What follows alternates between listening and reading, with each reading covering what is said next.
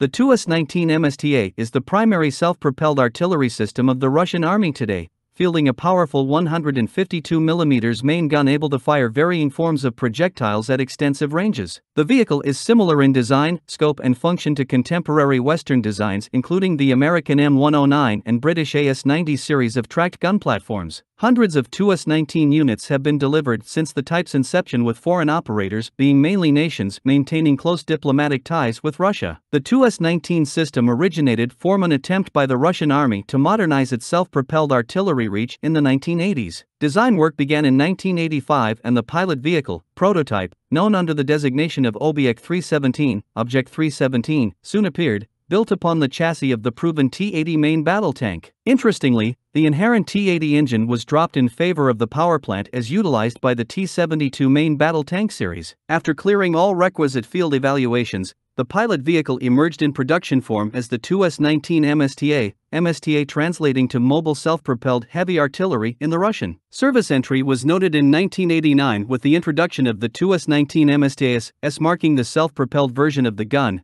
the alternative being MSTAB to designate towed versions of the same gun in field form. Outwardly, the 2S9 vehicle promotes a rather conventional appearance as modern self-propelled artillery systems go. It features a low-profile chassis and hull structure straddled by long-running track systems while its primary armament is set within a large, boxy turret emplacement fitted to the middle rear of the hull roof. The turret houses the gunnery crew as well as the main gun and recoil mechanism needed to contain the violent recoil of such a large caliber weapon system. The turret overhangs the bow of the hull and is capped by a double baffle muzzle brake. A fume extractor is identified at the barrel's midway point. When in transport mode, the barrel is affixed to an inverse V-type assembly to lock the barrel in place. Crew accommodations amount to five personnel including the driver, vehicle commander, gunner, loader, and charge manager. The driver is the only crew member separated from the rest of the group, taking a position in the front center of the hall. The crew is afforded a full NBC, nuclear, biological, chemical, suite while the driver has access to a passive night vision system. A bulldozer type blade is standard and allows the 2S19 crew to dig out their own emplacement prior to firing. A wading kit is also issued to allow the 2S19 to ford certain water sources, up to 5 meters deep, in keeping with accepted Soviet slash Russian armored warfare doctrine. The vehicle is powered by a single V84S series diesel fueled engine developing 840 horsepower. Some have been fitted with the 46 6 series diesel instead, providing the 2S19 with a top road speed of 37 miles per hour and an approximate operational range of 310 miles. The engine system is fitted to a compartment in the rear of the hull. Like other vehicles in this class, the 2S19 is further powered by an integrated auxiliary generator that allows all primary firing functions to be operational without the engine running. As a tracked vehicle, the 2S19 sits atop six,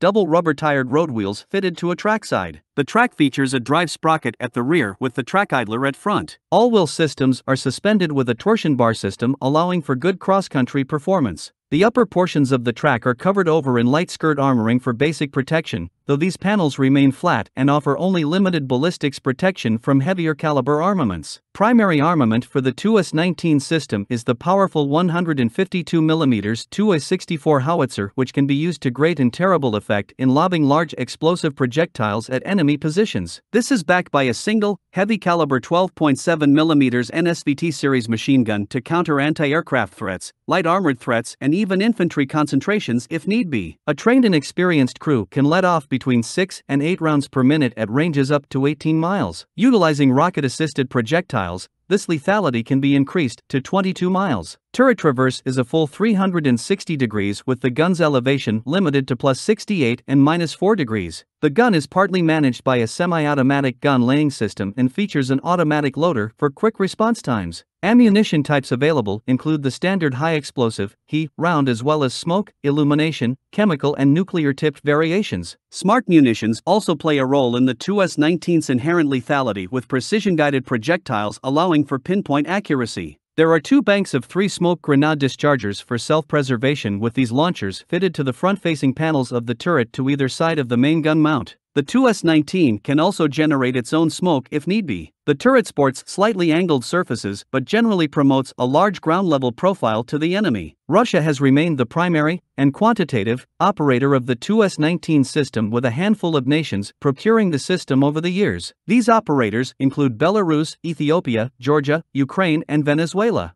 To date, there have been a few notable 2S19 variants, including the improved 2S19M1 appearing in 2000 and sporting a digital fire control system, FCS and stripped export friendly form then appeared in 2006 as the 2S19M1-155 sporting a 155mm L-52 series main gun to help market the weapon to NATO-conformed countries. Naturally, the larger projectile size ensured a reduction in available onboard shells to 46 rounds. Several other related project types have appeared throughout the life of the 2S19 The few have been furthered into production forms.